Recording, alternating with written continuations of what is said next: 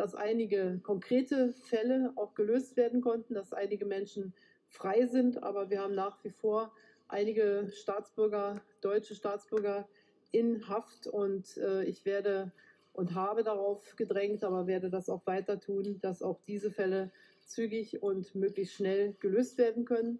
Und wir werden morgen beim Frühstück auch noch in ausführlicher Weise einige dieser Fragen äh, besprechen können. Deutschland hat ein Interesse an einer wirtschaftlich stabilen Türkei, an einer Türkei, die äh, wirtschaftliches Wachstum aufweisen kann. Deshalb haben wir uns natürlich auch über bilaterale Fragen der Wirtschaftskooperation ausgetauscht. Hier hat es ja auch Besuche der entsprechenden türkischen Minister vor dem Besuch des Präsidenten bereits gegeben. Darauf konnten wir heute aufbauen. Und insofern haben wir ganz konkrete Dinge. Der Bundeswirtschaftsminister Peter Altmaier wird in die Türkei reisen. Die gemeinsame Wirtschaftskommission wird zum ersten Mal tagen und zum zweiten Mal auch das deutsch-türkische Energieforum.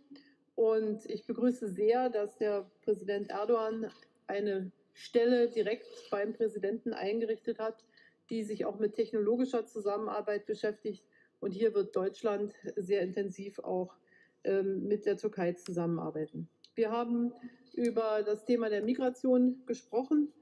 Äh, die Türkei leistet herausragendes, was die Beherbergung von über drei Millionen syrischen Flüchtlingen anbelangt. In diesem Zusammenhang haben wir natürlich auch das Thema Idlib besprochen und werden das morgen auch noch einmal vertiefen. Wir sind dafür, dass die, es ein Vierertreffen geben wird, denn die Situation ist nach wie vor fragil. Des türkischen Präsidenten, des russischen Präsidenten, des französischen Präsidenten und mir. Wir streben an, dass das noch im Monat Oktober der Fall sein wird. Und äh, wir haben natürlich auch über die Umsetzung der EU-Türkei-Vereinbarung gesprochen. Wir stehen zu unseren Verpflichtungen, die wir eingegangen sind.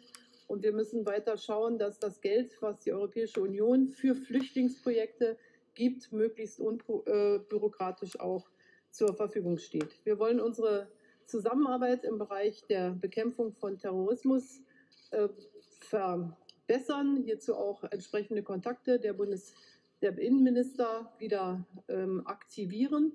Und wir ähm, haben einen intensiven Dialog der Außenminister nicht nur über außenpolitische Fragen, sondern auch zum Beispiel Fragen von Schulen, deutschen Schulen in der Türkei, aber auch Möglichkeiten